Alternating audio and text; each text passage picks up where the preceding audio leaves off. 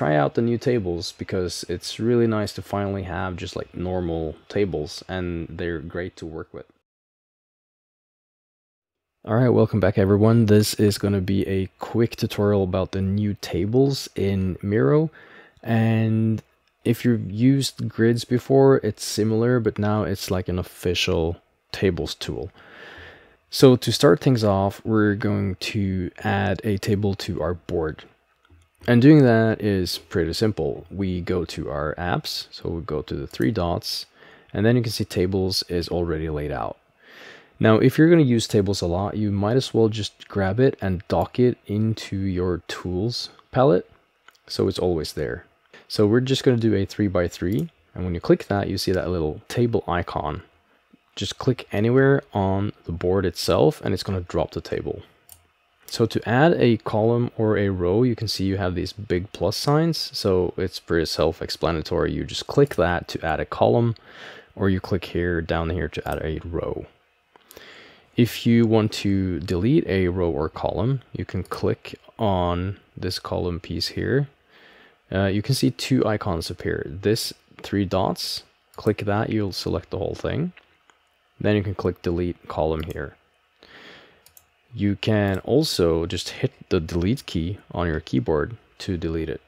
Now, the delete key and the backspace key, they work a bit differently in tables. So if you have some text in here, and you select the whole thing and do backspace, you're just going to delete the content. If you want to delete the whole row, you hit del on your keyboard and it deletes the whole row. There's also other ways to add uh, rows or column. So if you are in a cell, you can see these little icons here. So if you click A plus, let's again add some content, A, B, C. So if you want to add a column, you can click this add column icon and it's going to add one column after the one you have selected. And the same goes with the rows as well. Just add rows like that. So now we have this big table with nothing in it. Uh, let's have a look at how we can start populating our table. So first thing we're going to do, we're going to add some text that makes more sense in a table. So for this one, we're going to add for example, a user. So user A, and then just hit tab to go to the next column. User B, sorry, cell, and user C, the next cell in the next column. So we have three users here, and we're gonna get some data that would be name and then age like that. I know you can see that they're small, you can't really see them. So what I'm to do now is that I'm to go to my table and I'm to add some, uh, or I'm to edit the attributes for my font.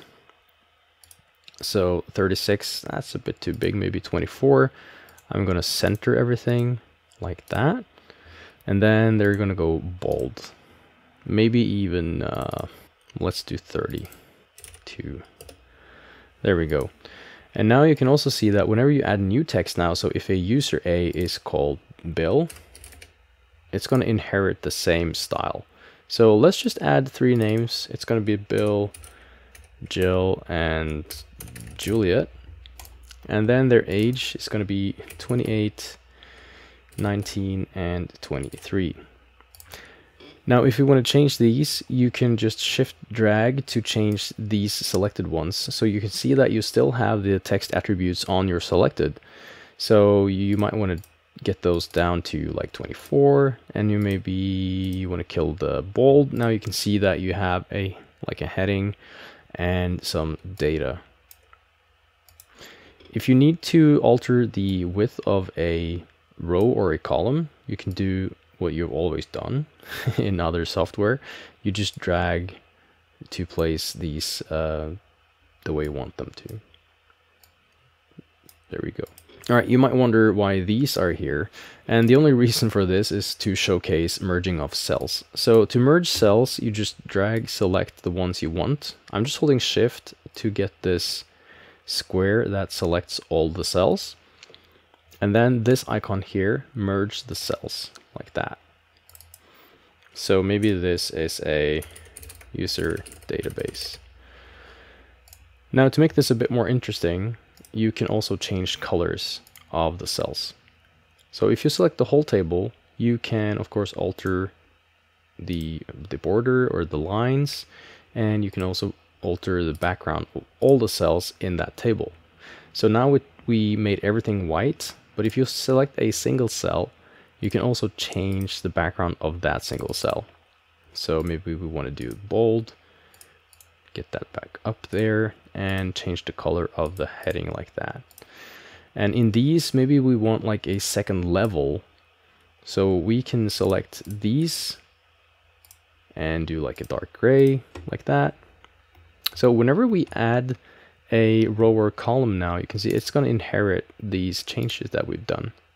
The only thing that you might need to update is the merging of the cells like that. Now, of course, there's more than text you can add here. Uh, when you double click a cell, you add text in the cell. So you're just editing the cell itself. If you need a text element in the cell, you can add a text element like this, text element, and uh, just get this up to 24. Maybe just add another uh, another font so it's easy to see.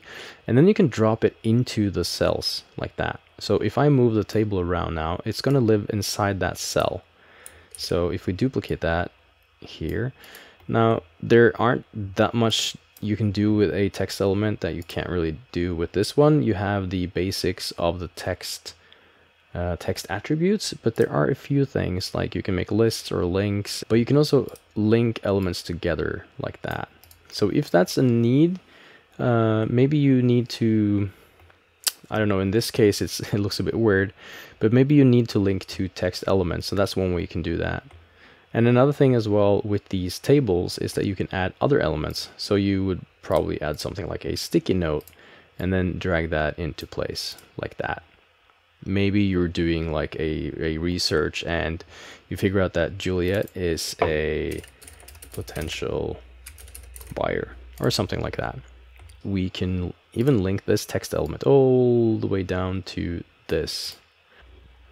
And another thing as well that's really nifty with the tables is if we have multiple items like this, and we grab all of them and we want to drop them into a cell like that, you can see that the cell will expand. But if you don't want that, you can just hold command, control on Windows, and then that will disappear. So if you do want it, just drag it over there and it's going to be there by default. One last thing that we're going to look at. If you've been using Miro for a while, you might know that you can copy paste from Excel or uh, Google Sheets. And when you do that, if you if you paste in a few cells, it's going to create sticky notes. So let's do that first. Now, this is just some research that I've done earlier on uh, Medium Writers. I'm going to grab maybe just like a few rows. So eight rows with the heading and everything. So I'm going to copy that. And then when I go back into Miro and I just hit paste, it's going to all be sticky notes. And that's fine. I mean, I've used that a lot.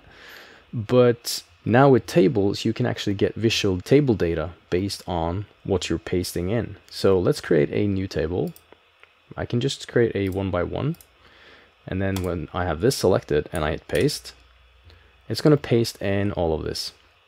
All right, I hope you learned something about tables today. If you don't have Miro installed already, just click the link in the description below. That's my affiliate link. Uh, and have a go yourself. If you have used Miro before, try out the new tables because it's really nice to finally have just like normal tables and they're great to work with. Hopefully you learned something. It's quite simple. It's basically normal tables. Remember to subscribe if you want more of this in the future. I'll keep making these videos and I hope to see you back next time.